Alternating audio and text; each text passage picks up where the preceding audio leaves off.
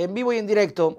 Ok, vamos con el tema que le habíamos mencionado, un tema súper eh, grave, eh, mis queridos amigos, porque empiezan a darse situaciones que siguen empañando y siguen demorando y retrasando la verdad en el caso de María Bernal. Justamente hoy pensábamos eh, poder conversar con la mamita, lamentablemente no se pudo. Y vean, vean cómo hoy se va revelando este, esta situación, el tema de la cadete. Este tema que fue bastante controvertido y que lo había denunciado incluso la propia eh, mamá de María Bernal, principalmente por los cambios de versiones.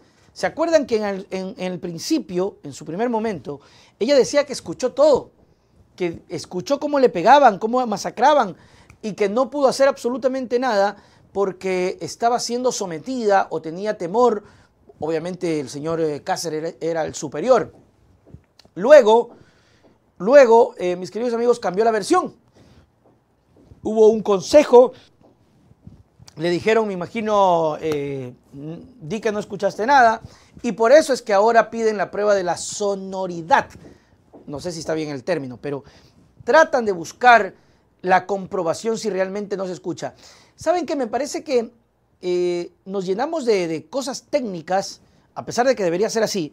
Oiga, pero si aquí no hay un aparato de cálculo de la sonoridad, Oiga, no quiero que esto se malinterprete, pero no basta con ir a un cuarto o, estar en la habitación en este castillo horrible de Grayskull, luego estar en el otro cuarto y que alguien hable o simule una discusión y luego comprobar si se escucha o no.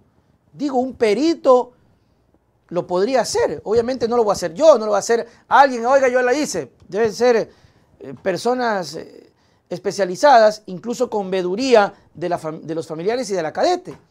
Pero acá se enredan en que necesitan un aparato de sonoridad, de sonorización, para calcular el sonido, porque queremos descifrar eso. Digo yo, o sea, si yo estoy aquí y aquí pasó, simulo una discusión y avísame si se escucha con la fiscalía o, o alguien de la fiscalía y de la familia, quédense allá. Se escucha clarito o no se escucha nada. No sé.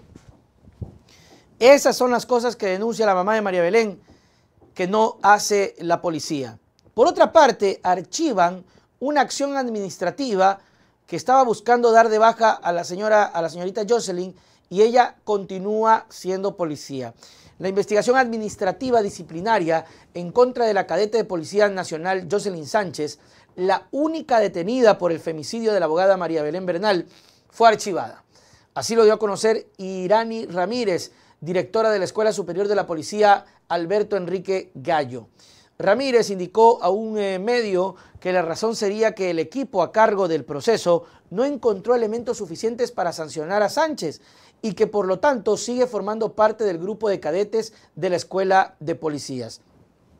Esto puede ser un precedente para que salga en libertad porque si no hay pruebas, si no hay nada, si no han comprobado nada o la acusación no quiere que esto se sepa, por ejemplo, eh, con esta decisión, la defensa, me imagino, de Jocelyn, le sobra y le basta para decir, vean, ha sido revocado un tema administrativo, en pocas palabras, en pocas palabras, mi acusada o la acusada y mi defendida no tiene culpabilidad de nada. Explicó que al no contar con los indicios necesarios para establecer cargos, no se dio paso a la conformación de un tribunal de disciplina y bajo ese criterio la investigación fue archivada. Eso constaría en el informe final entregado por el equipo sustanciador. Si bien Sánchez es la única detenida por el caso de María Bernal, el principal sospechoso y esposo de la víctima, Germán Cáceres, sigue a un prófugo de la justicia. Cáceres fue quien la madrugada del pasado 11 de septiembre autorizó el ingreso de la cadete a la escuela superior. Ese día fue cuando Bernal apareció al recinto y luego nunca más se supo de ella hasta el día que apareció su cuerpo. Un dato interesante, el propio Cáceres autoriza a la cadete el ingreso porque eran horas de la noche, madrugada. Al ser consultada, si el ingreso de la cadete debía ser sancionada como falta, dijo que no, porque fue el teniente Cáceres quien la autorizó. O sea, una cosa eh, técnica, una cosa extraña que me parece increíble. Es decir, un superior te autoriza y no hay ni siquiera eh, el cuestionamiento de por qué lo hace a la madrugada. O sea, eh, no sé si me están entendiendo. La, la consulta de la falla disciplinaria de la señorita Sánchez, que ni siquiera se está discutiendo el hecho de que haya escuchado haya estado encerrada en el cuarto con, Cáceres. No, el hecho de haber ingresado a la, escuela, a la escuela superior a esas horas para la policía no se le hace raro y no es ilegal porque le autoriza el superior.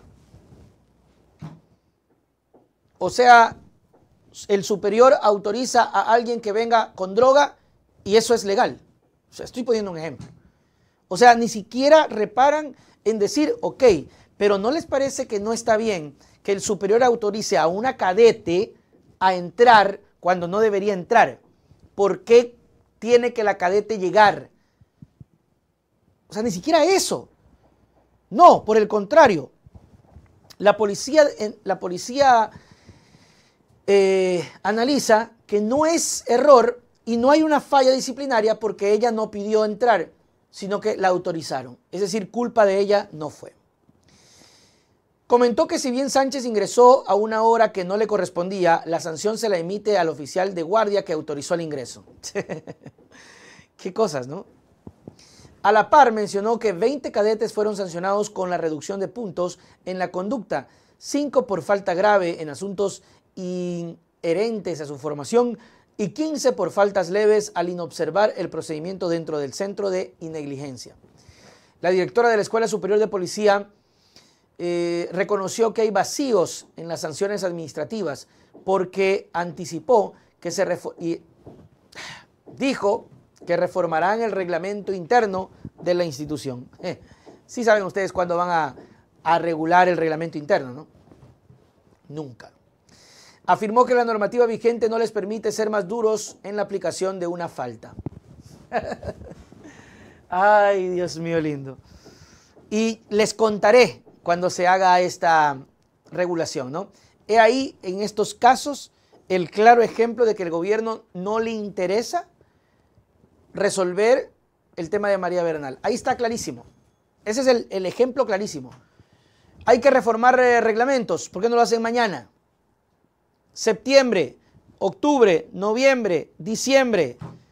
Les voy a contar el año y seguramente no hay ninguna reforma sobre el tema de las sanciones a los cadetes o a los uniformados. Ese es el falso espíritu de cuerpo, mis queridos amigos. Se acabó. Free drinks